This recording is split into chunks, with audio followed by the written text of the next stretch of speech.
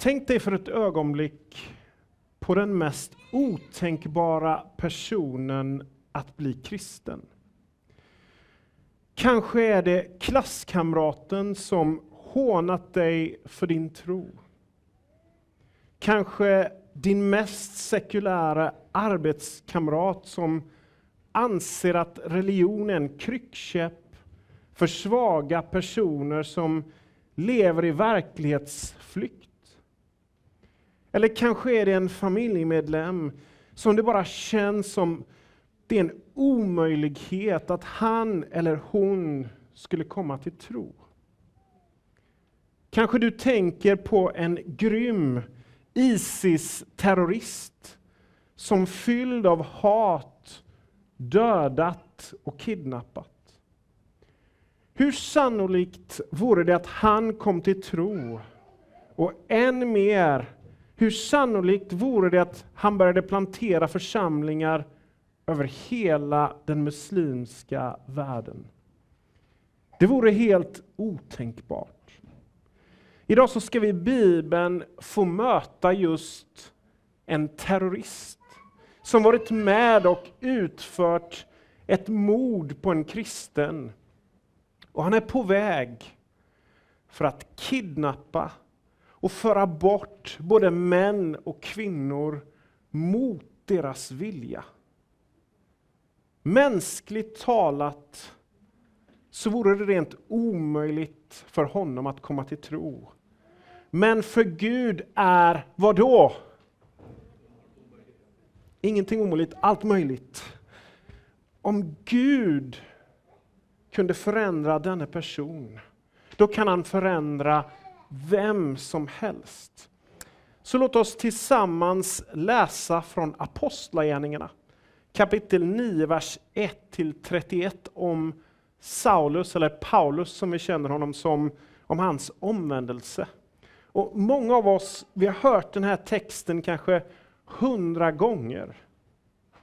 Så glöm för ett ögonblick allt vad du vet och har hört och tänker om denna händelse och lyssna som om du var där. Eller som när Paulus berättade om det för första gången. Så jag får välkomna fram fem personer som ska hjälpa till att läsa.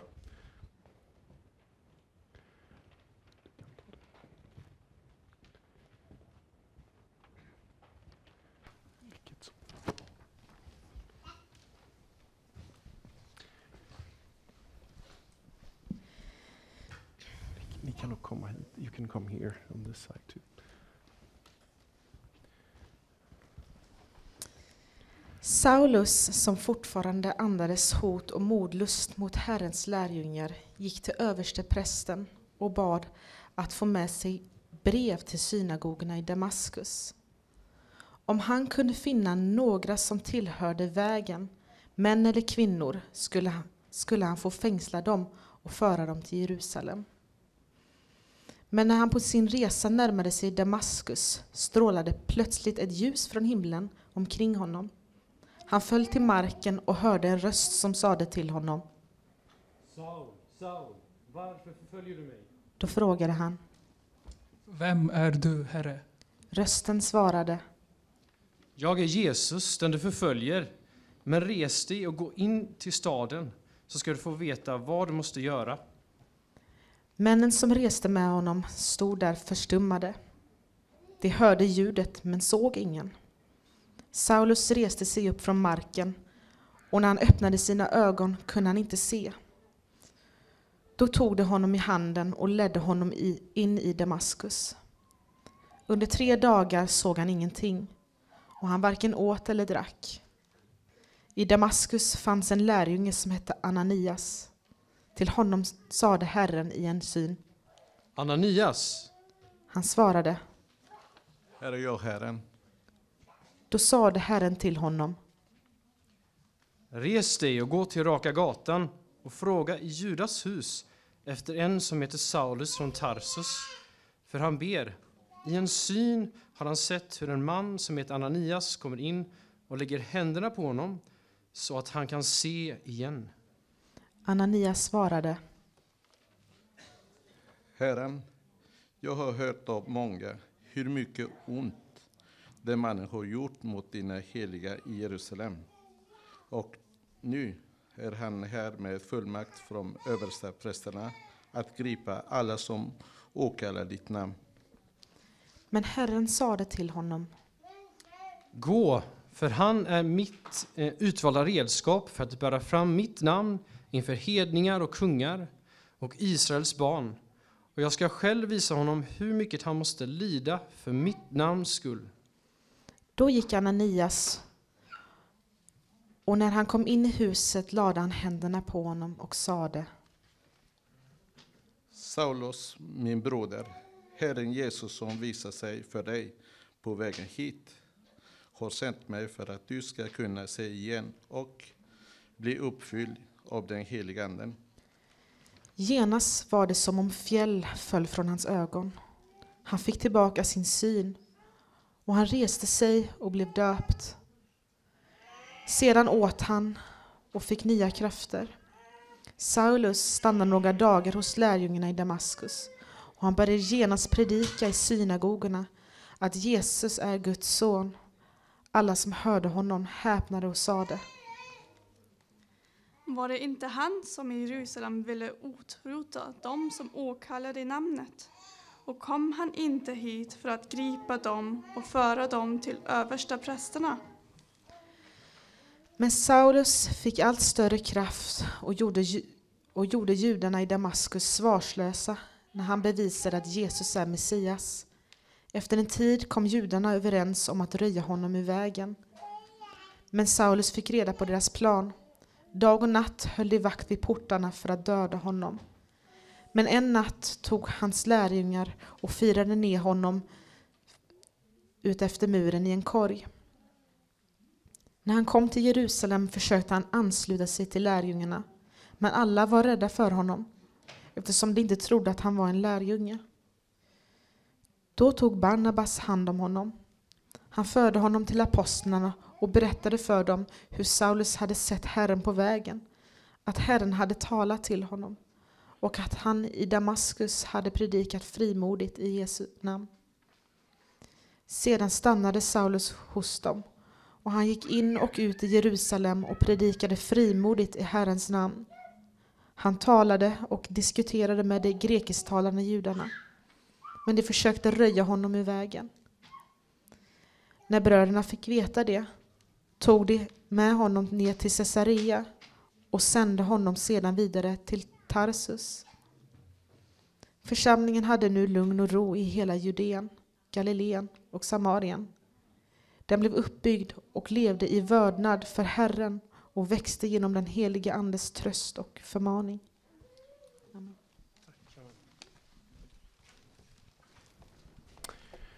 Herre, vi ber att du skulle tala genom ditt ord, verka i våra hjärtan och hjälp oss verkligen att förstå och ta till våra hjärtan de här underbara sanningarna som vi läst om i denna text. Vi ber i Jesu namn.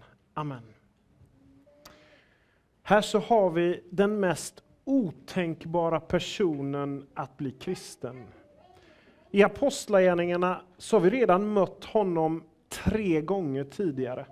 Första gången vi mötte honom så la vittnena, de som falskt anklagade Stefanus och stenade honom, de la sina mantlar vid Sauls fötter. Andra gången han nämns så står det och Saulus hade samtyckt till att han, alltså Stefanus, dödades. Tredje gången det står om honom i Apostlagärningarna 8, vers 3, så står det men Saulus försökte utplåna församlingen. Han gick in i hus efter hus och släpade ut både män och kvinnor och satte dem i fängelse. Saulus var en man vars mål var att en gång för alla förstöra kyrkan. Han hatade den kristna tron och han var villig att göra vad som helst för att utplåna församlingen. Här så har vi en av de största förföljarna av kyrkan. Han blir känd för att brutalt gå från hem till hem och kidnappa kristna. Och med den förföljelse som ägt rum så har kristna och den kristna tron i enlighet med vad Jesus sa i Apostlagärningarna 1, vers 8 börjat spridas bortom Jerusalem till Judeen och Samarien. Och förra söndagen så såg vi till och med till den egyptiske hovmannen hela vägen till Afrika. Och kristna hade även kommit till Damaskus, som låg på en handelsväg. Och nu är budskapet på väg att spridas både runt om i nuvarande Asien och över hela romarriket. Och Gud har verkligen humor. Vilken ironi vi ser här. Där kyrkans största förföljare gör allt för att hindra tron. Och vad kommer hända? Saulus, som senare kommer kallas Paulus, får reda på att de kristna kommit till Damaskus. Och där börjar de sprida budskapet bland synagogorna. Så vad gör han? Jo, han beger sig ut på en resa som skulle ta nästan en hel vecka. I Apostlagärningarna 9, vers 1-3 så säger så står det att, om, att i vers 1, Saulus som fortfarande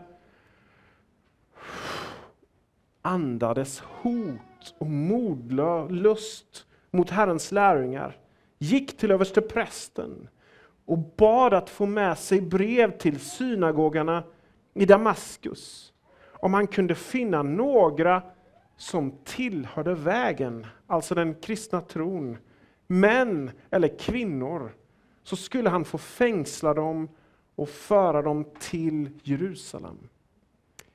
Han får mandatet från översteprästen och på grekiska, det språket som Nya Testamentet är skrivet på, så står det ordagrant att han andades hot och mord. Mordet på Stefanus har bara gett honom en försmak.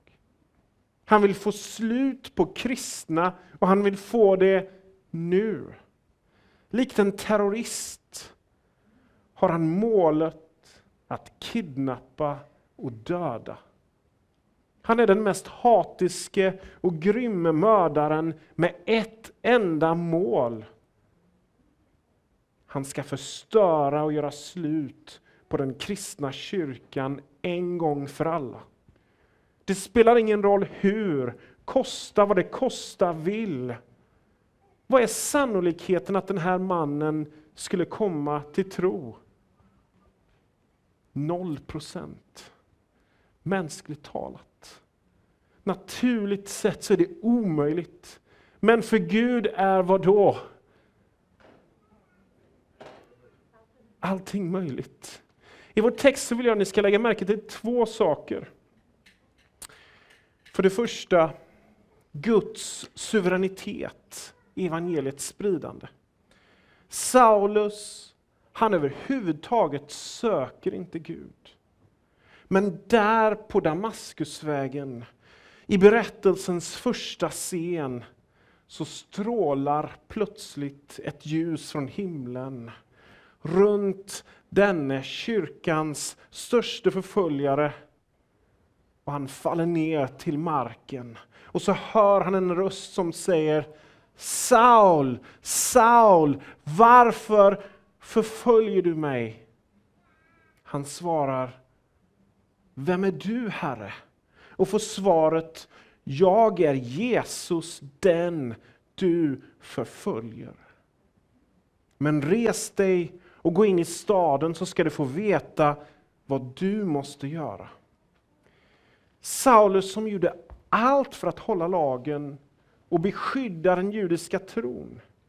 Istället för att följa det Gud vill, så har han i själva verket gått emot Gud. Och lägg noga märke till att Jesus likställer att förfölja församlingen, de kristna, med att förfölja Jesus själv, som beskrivs som församlingens huvud. Om du blir förföljd för evangeliets skull, om vi som församling blir förföljda för tron på Jesus och Guds ord, då förföljer man också Jesus. Vad hade du tänkt i Saulus situation? Du är på ett uppdrag som du tror är för Gud. Och du ser ett enormt ljussken kastas ner på marken och hör en, en röst som säger att du är fel ute. Här så har vi den mest hatiska, den största förföljaren av tron. Och så får han möta den han försöker motbevisa. Han har inte sökt Jesus. Han har överhuvudtaget inte visat något intresse för Jesus, bara motstånd.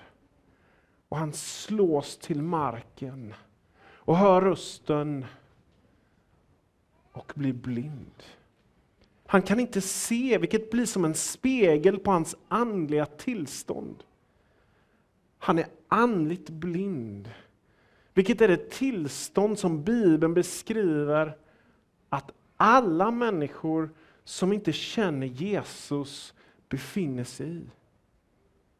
Han blir ledd in i staden och han äter och dricker inte på tre dagar.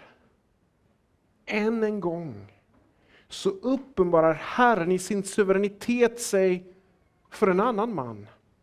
Denna gången är det för en lärjunge vid namn Ananias som betyder Herren är nådig. Och vilket passande namn han har.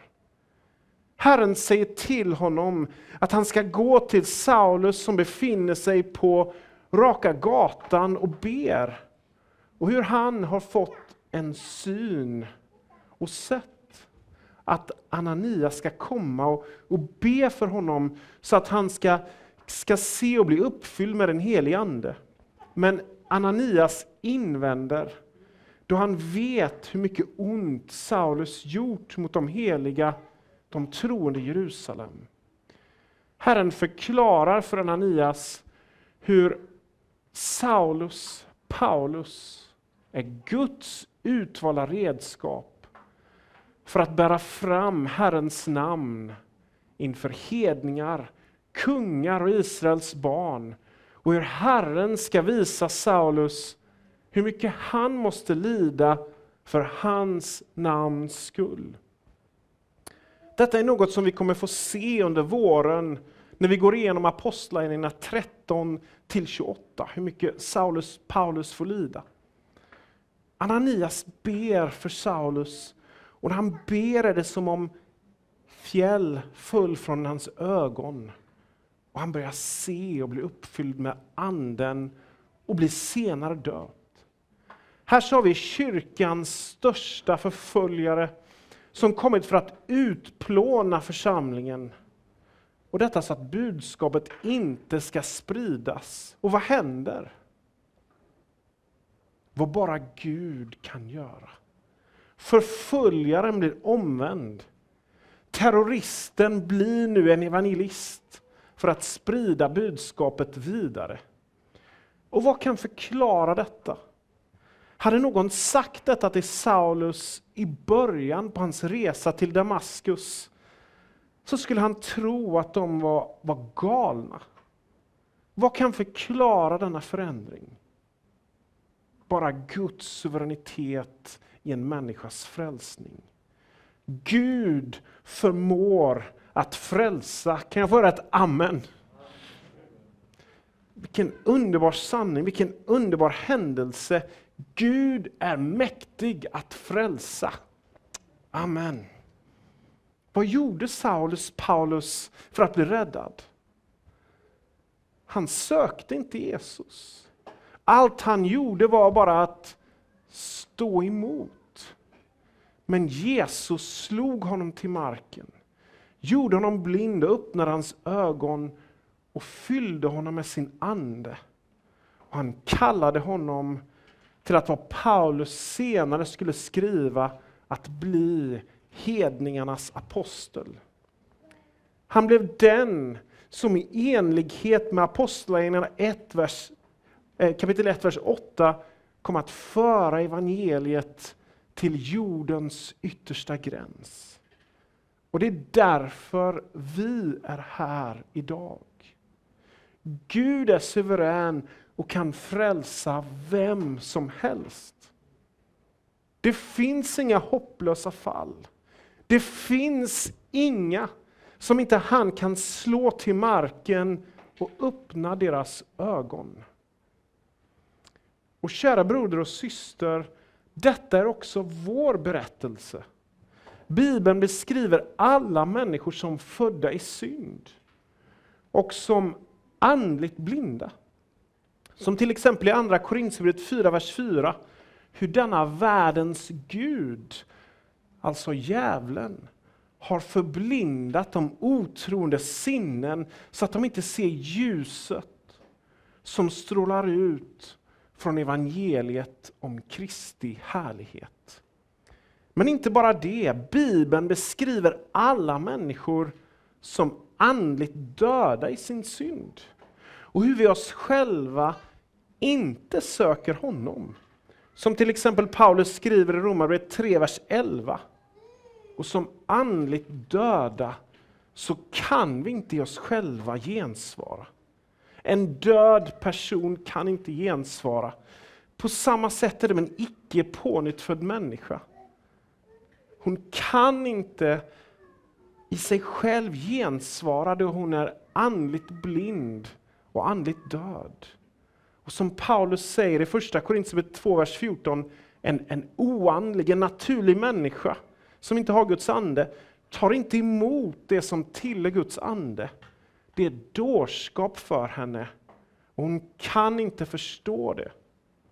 Det var det det var för Paulus.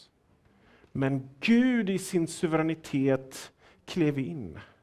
Och han har gjort det för dig, kära broder och syster. Du var andligt blind.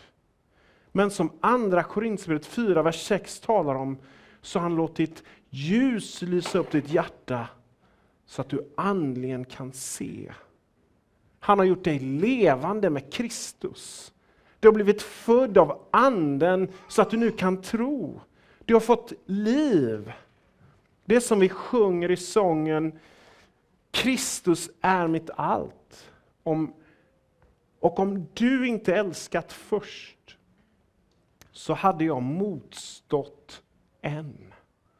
Vi älskar därför att han först har älskat oss, som första Johannes 4, vers 19 säger. På ett sätt så var Paulus upplevelse unik. Men på ett annat sätt så är hans upplevelse också vår. Tror vi verkligen det?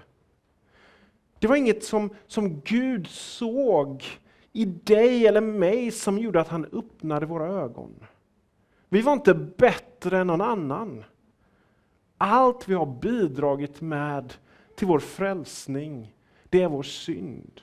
Frälsningen är helt av Guds nåd. Hur mycket borde vi då inte glädja oss och prisa och tacka Gud för hans underbara frälsning. Vi var förlorade, men har blivit funna. Vi var blinda, men kan nu se som vi sjunger i Amazing Grace. Vi var andligt döda, men har fått andligt liv. Amen. Halleluja, låt oss prisa Gud. Hur mycket borde inte denna sanning överflöda i tillbedjan? Och hur mycket borde inte denna sanning ge oss hopp och villighet att som Paulus säger i, i Andra Timoteus 2, vers 10. Därför uthärdar jag allt för de utvaldas skull. För att de ska få del av frälsningen i Kristus Jesus och den eviga härligheten. För Gud förmår att frälsa. Vi kan inte, men han är mäktig att frälsa. Även den mest hatiske och grymme Isis-terroristen. Även klasskamraten som hånat dig för din tro. Även din arbetskamrat som, som tror att du är galen för att du tror på Jesus. Även den person som verkar längst bort från Gud. Denna person är bara som en knäpp med fingrarna från att bli frälst. Gud är suverän och han är verksam idag. Av de människor som jag har fått se komma till tro under åren så har jag i varje fall fått se Guds suveräna ingripande. Kära vänner, det är bara Gud som kan ge blinda syn. Det är bara han som kan väcka döda till liv. Och han är verksam här och nu i denna tid. Han förmår att frälsa din arbetskamrat, din klasskamrat. Han förmår att andligt väcka till liv den som du tror är längst ifrån honom. Det mest otroliga vittnesbördet som jag personligen hört och lyssnat på där i person, någon berätta, det var från en före detta muslimsk tunisisk man när vi bodde i Tunisien. Denne man, han berättade att hans syster först omvände sig och kom till tro på Jesus. Och en kväll så fick den här mannen nog. Han tog en kniv, höll den mot halsen på sin syster, tryckte den och sa Avsäg dig den kristna tron eller dö. Hans syster sa utifrån Matteus 10, du kan döda min kropp, men inte min själ. En granne hörde oljudet och kom inrusande och slet kniven ur denne mans hand. Samma natt så drömde mannen som var på väg att döda sin egen syster om Jesus, vilket kom att leda till en radikal omvändelse. Från att ha varit full av hat mot den kristna tron och varit villig att döda, till att genom tron underordna sig Jesus som sin Herre och kung. Han hade inga tankar på att följa Jesus. Men Jesus öppnade hans ögon för evangeliet. Är det inte underbart? Jag skulle kunna ge ett dussintal liknande historier från bland annat den muslimska världen om människor jag fått höra som har kommit till tro, hur Gud övernaturligt har verkat. Och Är det inte underbart? Den här mannen i Tunisien, han stod likt Saulus emot den kristna tron. Men Gud i sin allmakt frälste honom. Det finns inga hopplösa fall. Gud är suverän.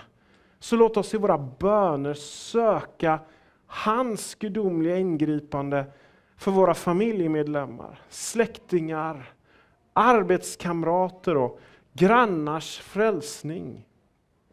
Kanske du lyssnar på detta och du tycker vad du just hör låter knäppt eller konstigt. Hur kan ni tro på det där? Detta var också Paulus, Saulus upplevelse innan han mötte Jesus. Han hade en bild av Jesus som inte stämde. Men Jesus uppenbarade sig för honom och visade honom vem han är. Vi har något som Paulus inte hade under denna tid. Vi har hela Bibeln som kallas Guds ord. Och det är primärt genom Bibeln som Jesus uppenbarar sig idag.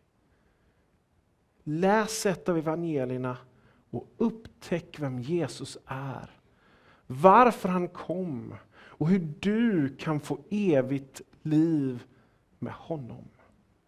Det finns hopp för dig.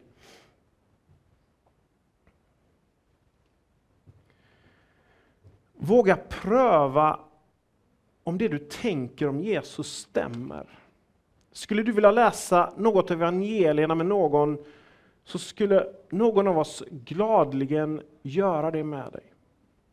Vi har nu sett hur Gud i sin suveränitet frälste Saulus och han blir kallad för att ta evangeliet, de goda nyheterna om Jesus, till hedningarna. Det är därför vi är här idag. Och Jesus, han är densamme idag. Han är verksam och han kommer se till så att evangeliet kommer nå människor från alla folk, stammar, länder och språk. Och det sätt som Gud valt att nå människor på, det är genom spridandet av evangeliet, vilket för oss till vår andra punkt, människans ansvar. Det sätt som Gud använder för att människor ska komma till tro är genom att använda människor för spridandet av evangeliet.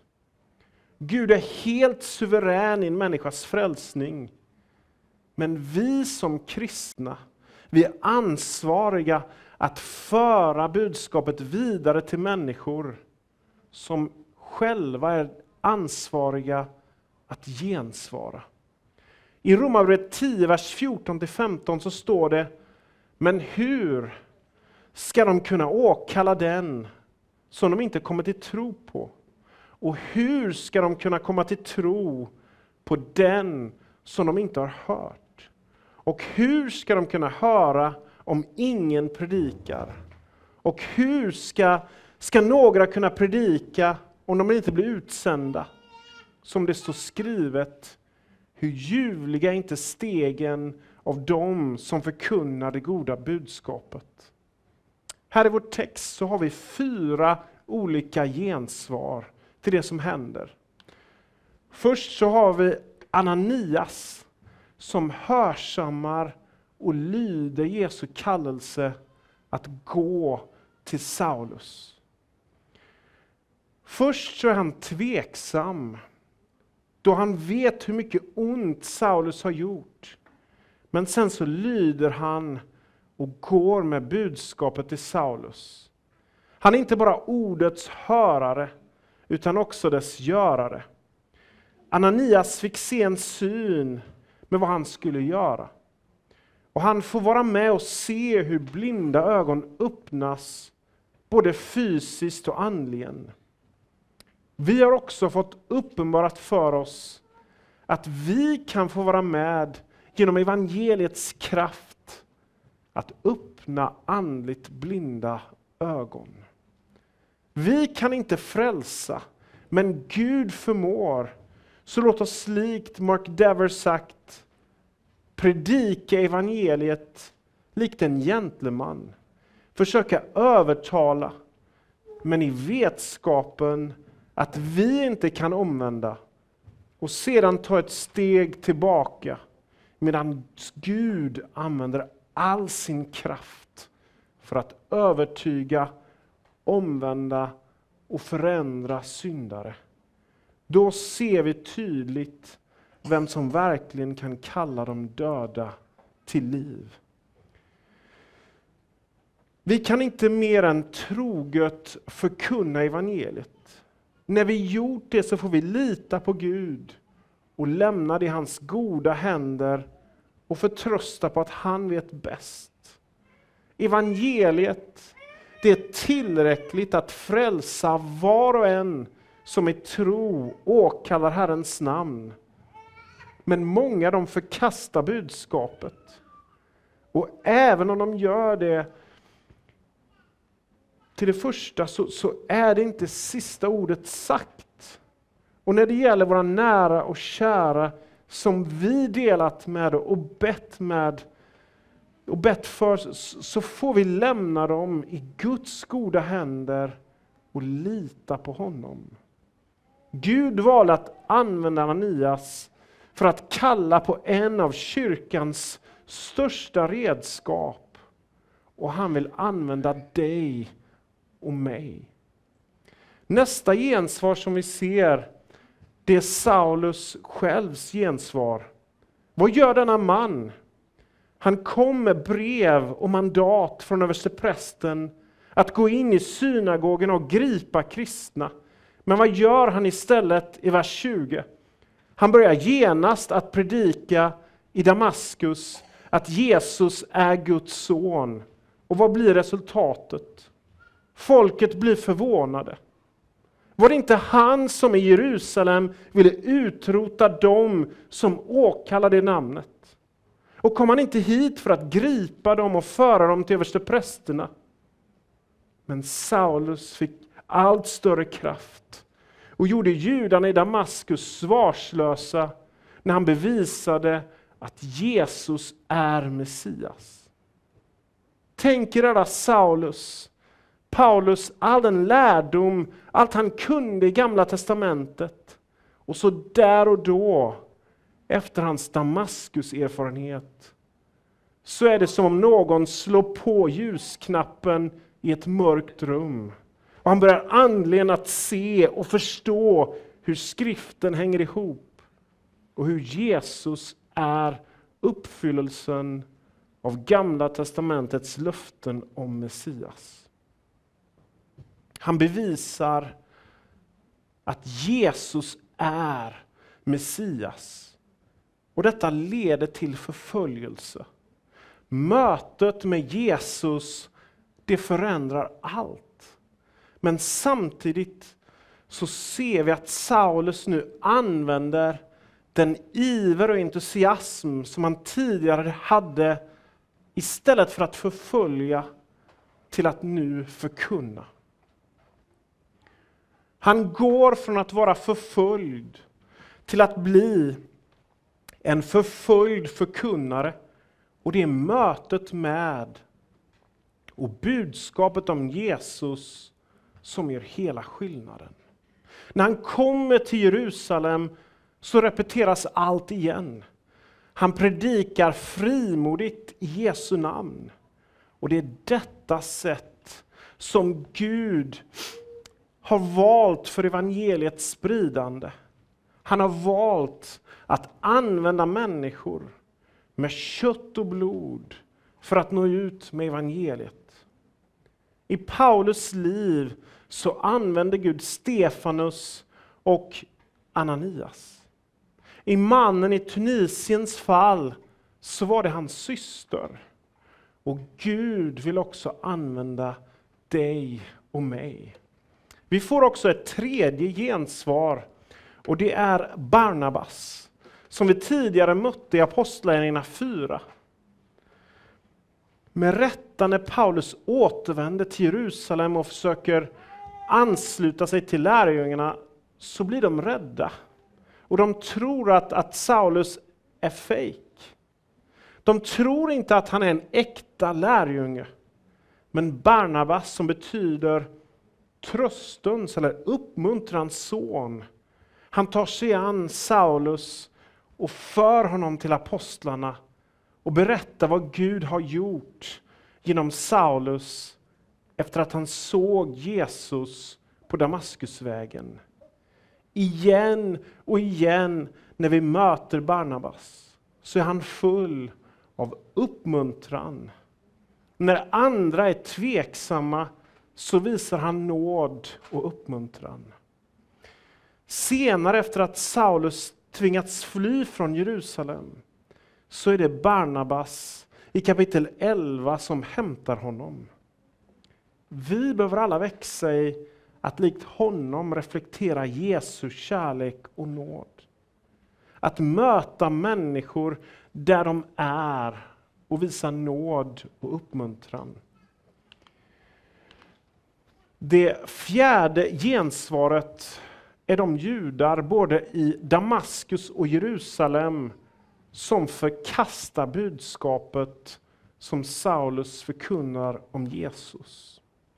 Detta så att han tvingas fly genom en, en korg från muren i Damaskus och bort från Jerusalem.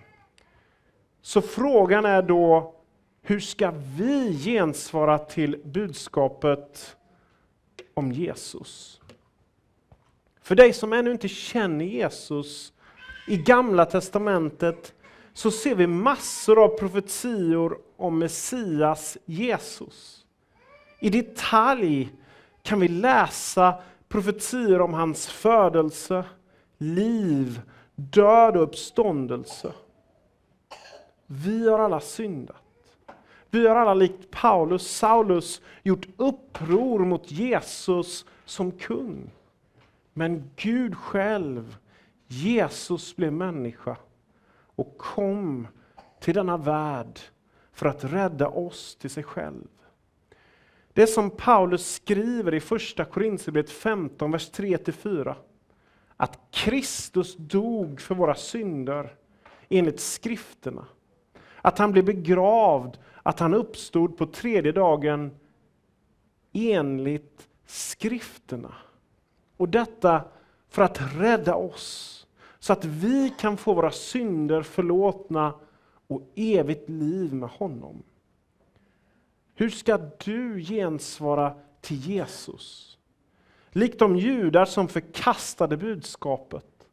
Eller genom att i tro på honom, tro på honom som din Herre, Räddare och Kung. Det primära budskapet i texten är att visa på hur Gud i sin suveränitet uppfyllde sin plan genom Paulus. Och detta för att evangeliet skulle kunna nå ut till jordens yttersta gräns. Men Bibelns löfte om att evangeliet kommer nå människor från alla folk, stammar, länder och språk, det är ännu inte helt uppfyllt. Gud är suverän och han kommer se till så att hans löfte uppfylls. Men sättet han valt att göra det på, det är att använda personer som dig och mig.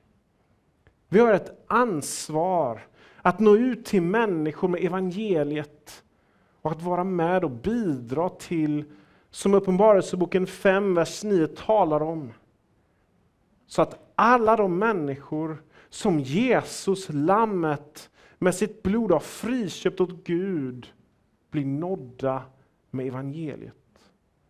Detta så att vi tillsammans med de friköpta från alla stammar och språk och länder och folk sluter upp i tillbedjan vid Guds tron. Så vad väntar vi på?